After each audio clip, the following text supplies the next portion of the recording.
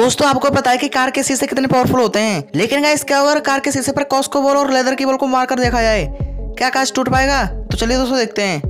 दोस्तों चैलेंज को SK experiment YouTube channel वाले भाई ने किया है। दोस्तों उन्होंने सबसे पहले कॉस्को की बॉल ली और उसको शीशे पर फेंका। जैसा कि आप देख पा रहे होंगे दोस्तों देख लीजिए कॉस्को की बॉल से तो शीशा नहीं टूटा है।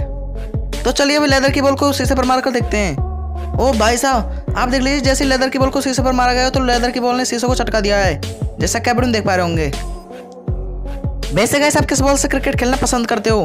हमें कमेंट करके ज़रूर बताना।